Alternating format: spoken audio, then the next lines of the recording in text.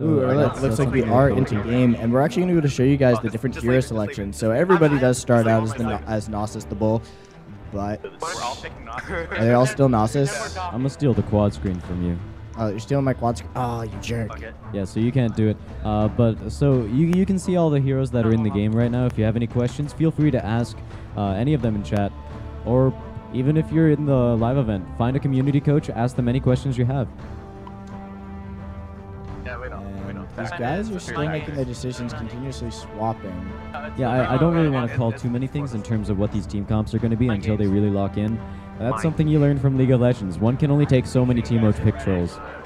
Yes, people do like to troll you. So this is actually Aisling, one of the newer characters. If you guys haven't been watching, uh, she just got uh, brought into the game uh, this week. She just got announced, and these guys keep switching.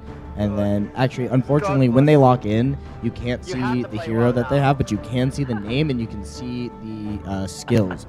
So we've got HK206. Uh, he's a ranged robot with lots of machine guns. We've got a Charnok for uh, Team Dynamic. We have a Margrave locked in, a Tyto the Swift, and a Knossos. All right, and uh, over on the other side, we have Mirrored.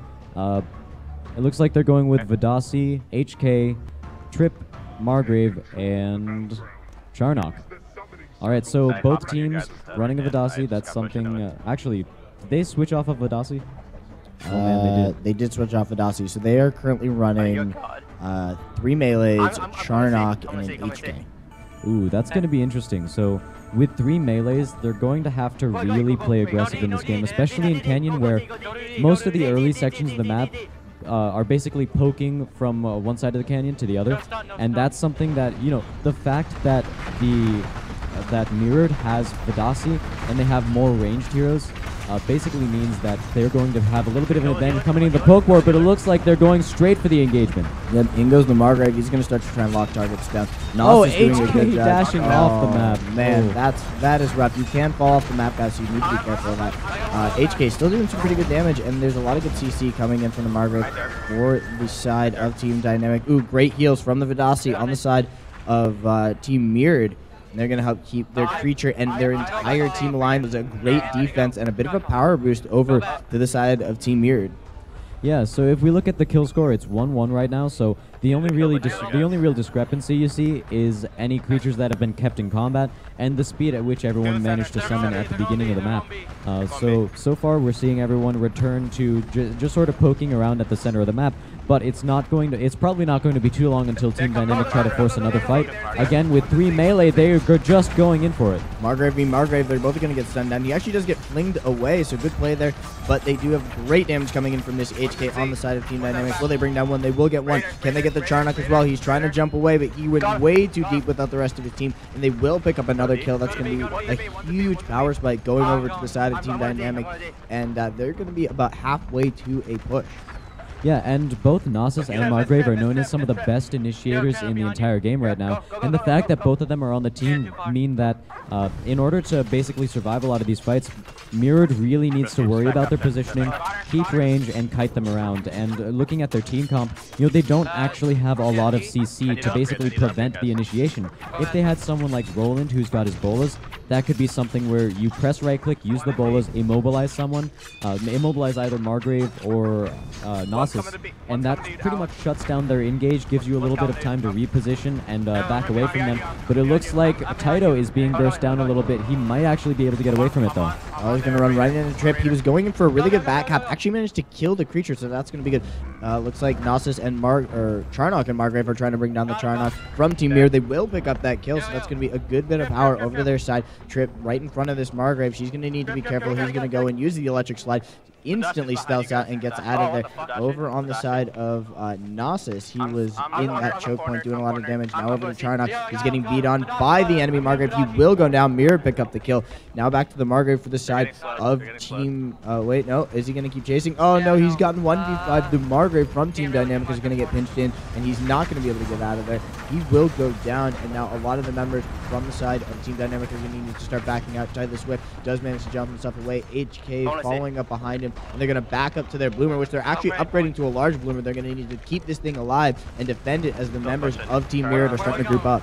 Yeah, an upgrade on a forward point is always risky because if uh, Mirror decides to take advantage of it, they can get they can basically attack during a window where the creature is upgrading. That means the young bloomer is not going to be able to use his special abil- abilities, and the adult bloomer is not going to be able to use his special abilities either. So that's a really good window where you know the enemy team can't rely on the creature and they can't rely on heals. But the creature i has been upgraded right now, so unfortunately they can't really do that. HK is going for a flank, however, this might be a little bit too aggressive.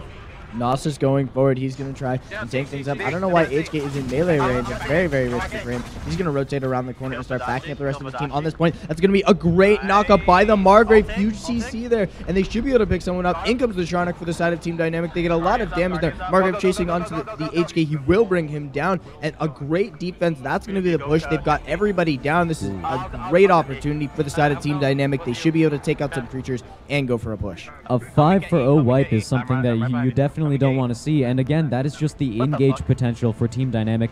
Uh, they really managed to uh, basically just win that fight within the first couple seconds after the Margrave ultimate. But we do see a little bit of over-aggression from Team Dynamic. However, they might get cleaned up here. There goes the Charnok ultimate. It's able to kill a bunch of people, play. and they take two kills back onto their side. And if we look at the mini-map, it looks like one person's trying to go around towards the uh, towards the G point, I think that is. And uh, he might be able to sneak past and try to get the wound. Tyto the Swift going in. He's going to get past some of the members. In goes the Guardian. He's going to have to be really, really quick here. Should have that double sweep. And there's not a lot of there's not a lot of shield bar. So this could be a great opportunity for them. He is on his own though. And we'll see whether or not anybody can get there and start to do some damage. He's using his bleed power. He's really the only one. In comes the Knossos doing a lot of damage. He's going to fling him away.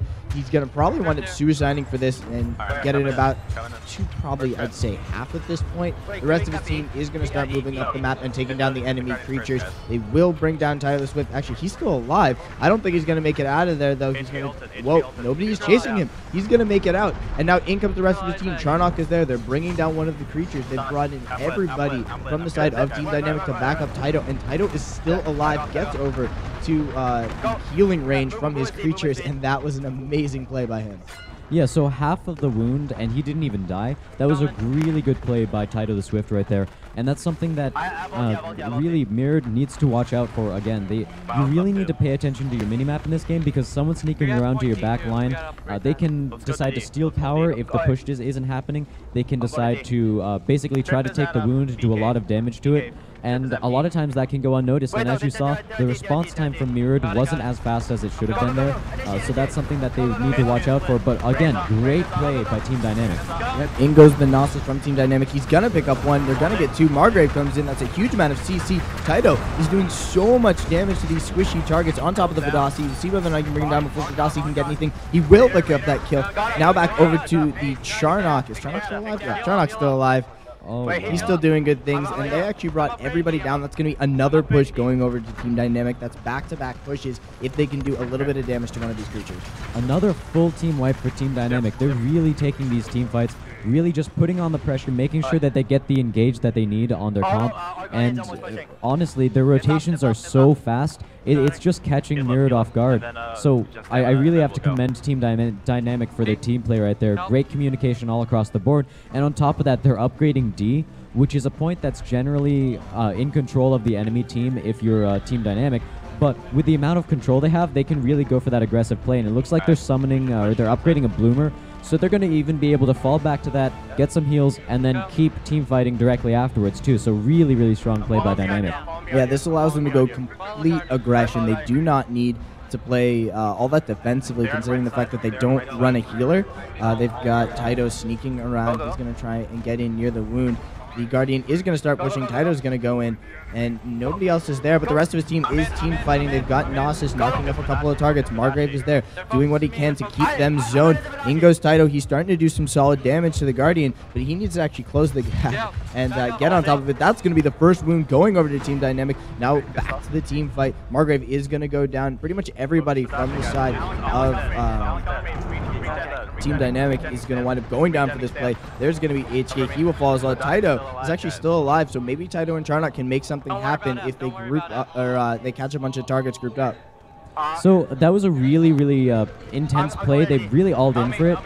And even though they got wiped, it was well worth it because first of all, they got the wound, and second of all, they already have so much control that they don't really need to worry about losing too much. As we see right now, uh, Mirrored is trying to go for the, the D point, and they're probably going to be able to kill the Bloomer. However, that's going to be basically evening up the creature score rather than give, getting them behind. I don't know about that. Charnok doing a lot of damage. He's going to pick up one. Swift comes in. In comes Oh, the Margrave. An Charnok amazing ultimate, Charnok ultimate. That's going to bring down everybody. And a full team wipe again. Is this going to be a repeat that we saw last time? They do knock somebody off the map. That's going to be another kill pickup. And just the amount of AoE healing coming in from these monsters. There's just nothing that Team Mirrored can do to stop the rampage of Team Dynamic.